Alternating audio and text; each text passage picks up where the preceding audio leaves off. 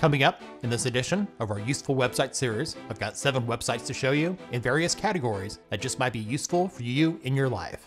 Let's get started.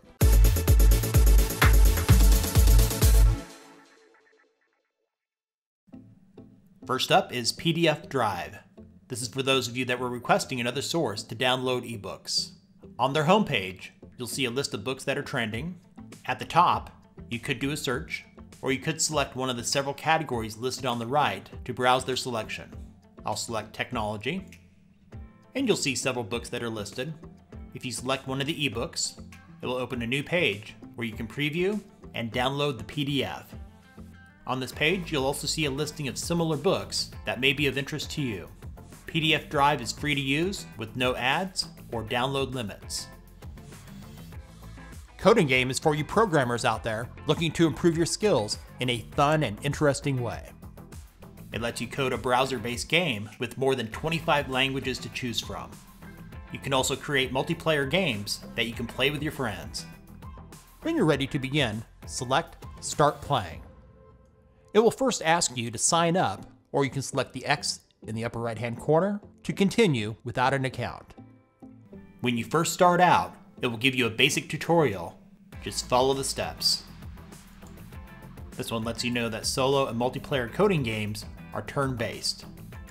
Select a programming language. I'll go with C++.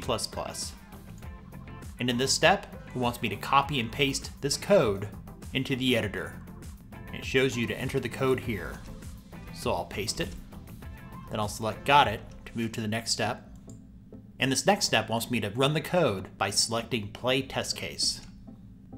Then you can watch your code in action. Still Tasty has information to let you know how long you can keep thousands of foods and beverages. It's very similar to a site that I showed you a few months back called Eat by Date. On Still Tasty, you'll see that you can browse shelf life information by category. I'll select dairy and eggs. The categories are organized in alphabetical order, and there are several pages in this category, so this is not the most efficient way to find what you're looking for. Back on their homepage, I have found that doing a search works a lot better, so I'll do a search for cheesecake.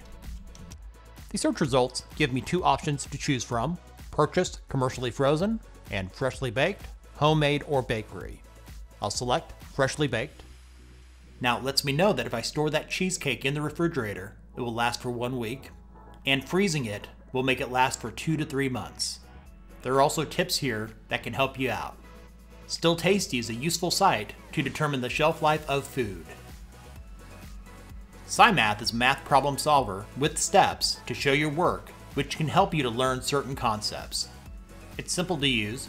You could either enter in a problem or choose one of the many topics.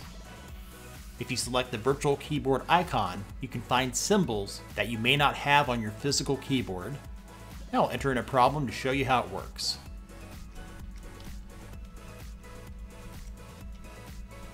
Once you have your problem entered, select Solve. It will now show you all the steps that are needed to solve your problem. They do offer a premium version called Cymath Plus, which is not needed, but does contain many useful features.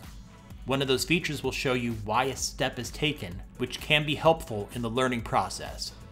Cymath also has an app for iOS and Android. Movie Map can help you find similar movies to the ones you like, which can help you to find something new to watch.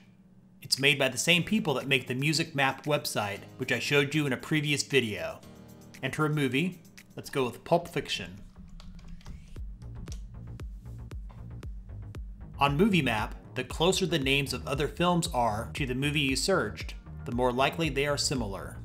According to the site, the closest one to Pulp Fiction is Fight Club.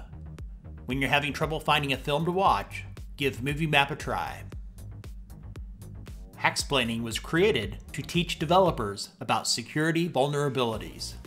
You can learn to hack on this site too. Learning how to hack is one of the best ways to learn how to protect yourself from attacks. There are several lessons to choose from, including SQL injection, cross-site scripting, clickjacking, and many others. Some of the courses require that you sign up to get access. At this time, there is no cost to use this site. If you're a newer developer, Hacksplaining is a website that you should know about.